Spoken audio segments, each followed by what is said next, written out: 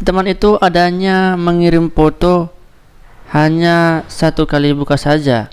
Jadi teman nanti setelah dibuka nanti oleh teman chat kita itu langsung hilang. Halo guys welcome back to my channel.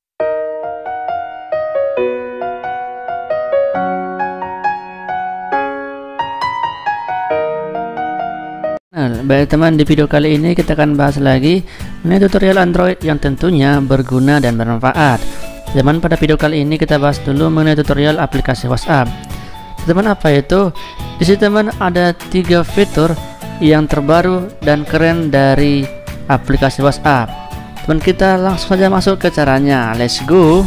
Penasaran bukan? Teman fitur yang pertama itu ialah teman itu itu adanya mengirim foto hanya satu kali buka saja. Ya teman nanti setelah dibuka nanti oleh teman chat kita itu langsung hilang. Ya, teman ini sangat berguna ya untuk bagi chatnya untuk privasi. Teman di sini saya contohkan ya bagaimana caranya. Teman silahkan masukkan di sini foto ya satu. Teman-teman ini fotonya. Teman ini diaktifkan yang ini. Satu ini silahkan inaktifkan. Pilih OK dan teman-teman silahkan di sini kirim. Teman nanti dia akan seperti ini ya bentuknya berbeda dengan seperti ini yang kita kirimkan tadi ya. Dan seperti ini kita kirimkan ini.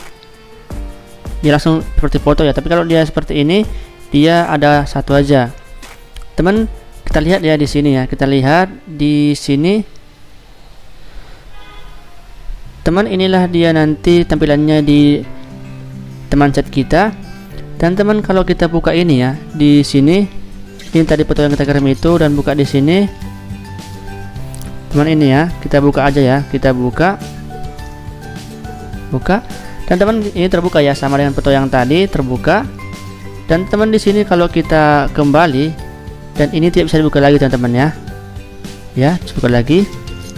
Teman itulah fitur terbaru dari WhatsApp yang pertama Mengirim foto hanya sekali buka saja.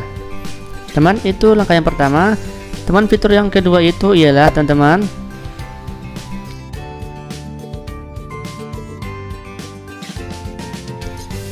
Yaitu bagaimana cara mencari cepat chat di aplikasi WhatsApp. Ya teman kalau misalnya seperti ini ya.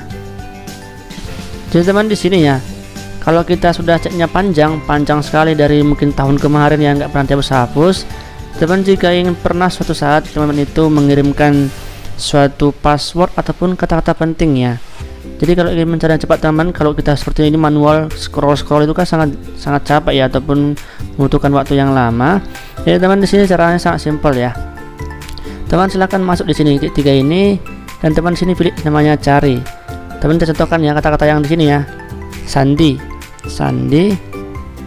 Kita langsung dia nanti ditandai marknya warna kuning ya saya kalau password seperti ini password. Dan teman tandai juga ya. Dan teman juga di sini kalau udah KTP dan juga langsung ditandainya. Ya, teman kalau ini sangat berguna ya kita ingin mencari chat di suatu percakapan dengan teman kita.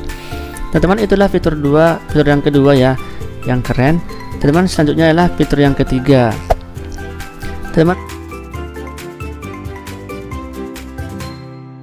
kita bisa mendengarkan dulu voice-nya sebelum kita kirimkan. Teman pada umumnya seperti ini ya. Kita kirim seperti ini tahan seperti ini ya. Kita tahan ya tahan. Teman langsung terkirim ya. Jadi teman nanti kalau kita ada percakapan yang tidak perlu ataupun salah kita bisa menceknya ataupun putar putar pertama baru kita kirimkan. Dan bagaimana caranya? Teman seperti caranya ya. Teman itu silahkan dulu tahan di sini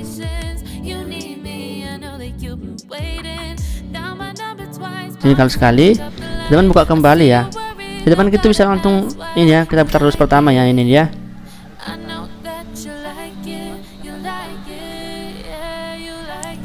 Jadi teman kita bisa cek dulu ya apakah suaranya busnya sudah bagus dan kita bisa kirimkan teman-teman ya.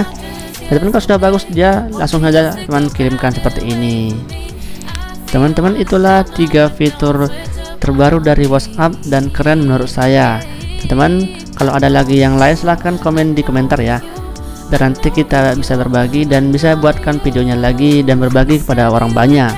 Teman sekian dulu dari saya. Mudah-mudahan video ini bermanfaat dan juga membantu. Sekian dan terima kasih teman. Sampai jumpa di tutorial berikutnya